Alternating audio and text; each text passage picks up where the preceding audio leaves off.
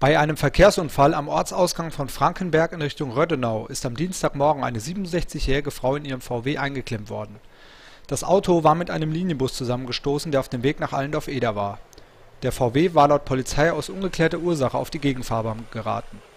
Da in Frankenberg kein Notarzt verfügbar war, wurde ein Notarzt mit dem Rettungshubschrauber eingeflogen. Die verletzte Fahrerin aus dem oberen Edertal konnte nach 35 Minuten von der Frankenberger Feuerwehr aus dem Auto befreit werden. Ein Rettungswagen brachte sie ins Kreiskrankenhaus. Die zehn Fahrgäste in dem Linienbus blieben unverletzt, die Straße war etwa eine Stunde lang gesperrt